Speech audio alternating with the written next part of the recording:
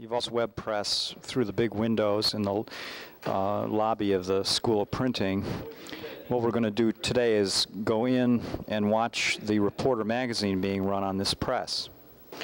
The paper is fed from this infeed roller here, a large uh, web of paper, and uh, it comes up through here, and it is then, hi Ruben, it is then woven back and forth in this contraption called a festoon. This allows slack to be taken up when the web is being changed over while the press is, is running. The web emerges from the festoon, and this is the infeed section of the press where the web is tensioned so that it goes through uh, all of the stations properly.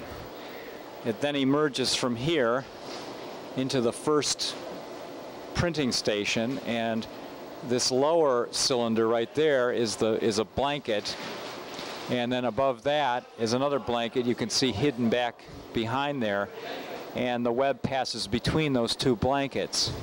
The lower blanket is inked and dampened from below. This is the dampening system for the for the lower blanket and the inking system is on the other side over here. And you can just see the plate peeking out right there with a little green color on it.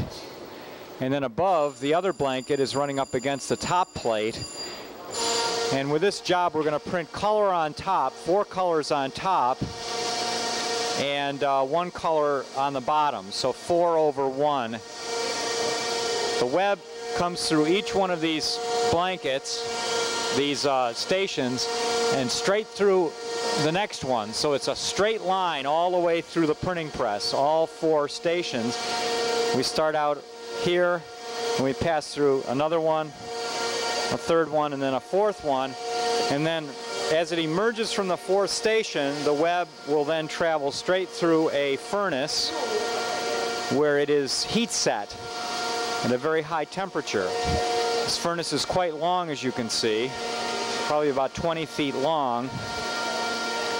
And the length of the furnace actually determines how fast we can run this press, or was one of the factors that determines how fast we can run the press.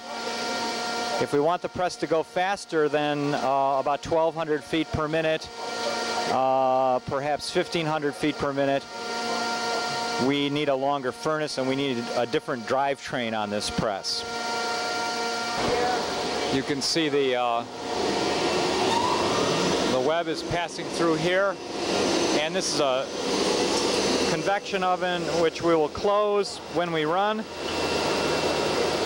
when the web emerges from the dryer, it comes down through this folding unit here and uh, try to give you an idea of how this works. Walk around to the back of the folding unit.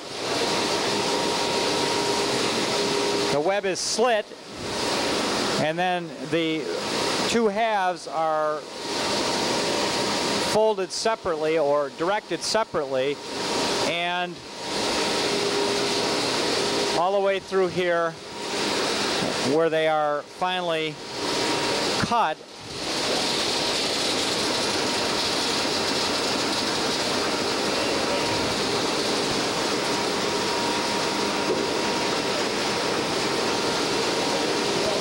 and they emerge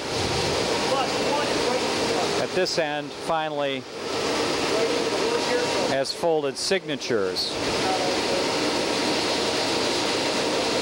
And of course, as all things in this building, at the end of the press we have a dumpster. And a lot of stuff gets thrown in here before we're ready to produce saleable material.